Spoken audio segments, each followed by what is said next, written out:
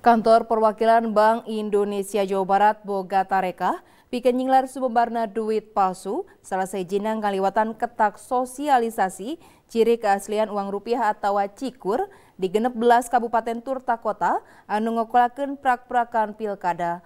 Kepala Kantor Perwakilan Bank Indonesia Jawa Barat miharep ekonomi Jawa Barat dina triwulan kahiji tahun 2018 bisa ngaronjat selesai jina tina kegiatan prak-prakan pilkada kalawan walatra.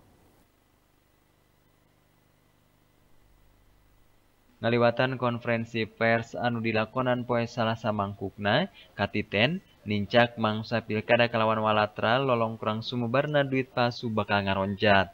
Bukituna kantor perwakilan Bank Indonesia Jawa Barat, Muga tareka pikeun ngungkulan sumberna duit pasu ngaliwatan ketak mayeng ngalakonan sosialisasi ciri keaslian uang rupiah atau cikur di 16 kabupaten kota anu bakal ngalakonan pilkada. Koordinasi oge mayeng dilakonan jeng pihak-pihak anu boga wewenang. Lian tikitu jeng lengan duit emisi 2016 anu diwogan ku sajumlahing fitur pangaman. Dirong mampu nyinglar sumberna duit palsu di Jawa Barat. Uh, uang palsu itu ada indikasi memang uh, apa namanya mengalami peningkatan terutama pada saat menjelang menjelang pilkada atau pemilu. Uh, sejarah historical data menunjukkan bahwa pada tahun 2014 ke 2000 2013 ke 2014 itu jumlah uh, uang palsu itu meningkat.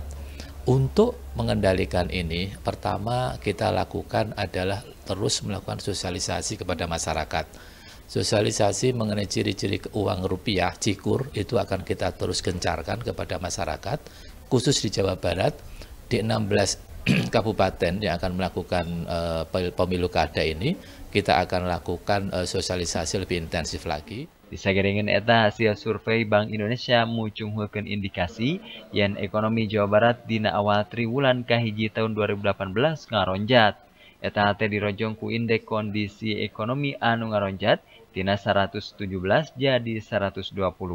Sejeroning kitu dumasarkan data anu dicangking, tumbuhna ekonomi Jawa Barat triwulan keopat tahun 2017 gedena 5,32 persen, ngaronjat batan triwulan samemehna. Pilkada jadi salah saji marga lantaran ngaronjatna ekonomi Jawa Barat. Tinda Rizkiana, Budi Hartati, Bandung TV.